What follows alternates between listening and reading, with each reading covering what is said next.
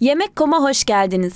Size çay saatlerinin vazgeçilmezi, ağızda dağılan un kurabiyesi tarifi vereceğiz. Hazırsanız haydi başlayalım. 200 gram oda sıcaklığında bekletilmiş tereyağını derin bir yoğurma kasesine aktarın. Üzerine bir adet yumurta ve bir çay bardağı sıvı yağını da ekledikten sonra pürüzsüz bir kıvam olana kadar çırpın.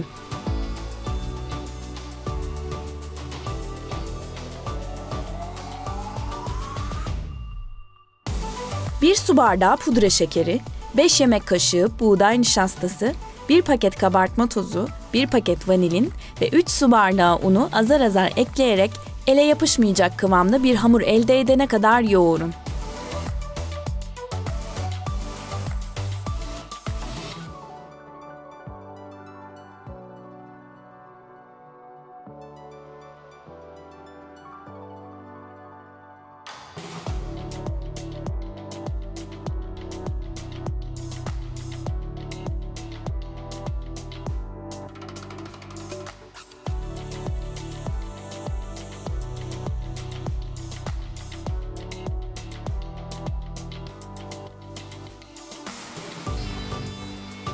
Kurabiye hamurundan büyükçe bir parça alın ve tezgahın üzerinde yuvarlayarak iki parmak kalınlığında rulo şekline getirin.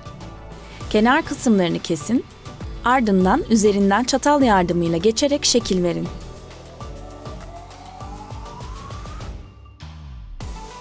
Bıçak yardımıyla 3 parmak genişliğinde parçalar kesin.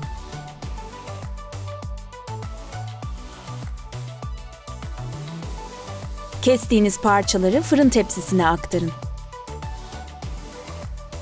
Üzerleri hafif kızarıp renk alana kadar önceden ısıtılmış 170 derece fırında 15 dakika kadar pişirin. Soğuttuktan sonra üzerine pudra şekeri eleyerek servis edin. Afiyet olsun.